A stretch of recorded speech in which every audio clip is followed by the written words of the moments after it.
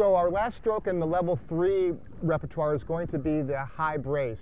The high brace is used in, in much larger environmental conditions, bigger waves, waves that perhaps a low brace just wouldn't be adequate. So we have the high brace. So in the low brace, you remember we were kind of in the gorilla position. High brace, we're in the, what's called the pull-up position. So here we have our, let me go ahead and show you what it looks like at this point. We're in this position here. High brace, keeps you from tipping over in bigger conditions.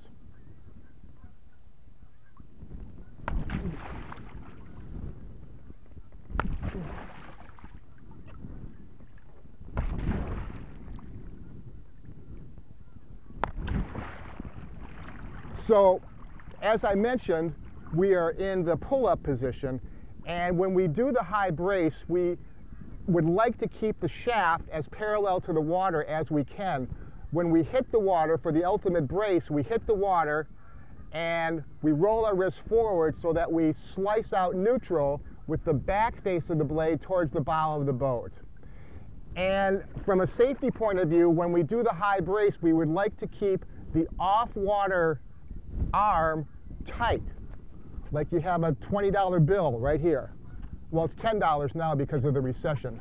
But so you have that right here, and then keeping it parallel to the water, hit, and then you have that same little hip snap that we showed you for the low brace on the side that you're bracing. So one more time, there, and let me just give you a nice one side view.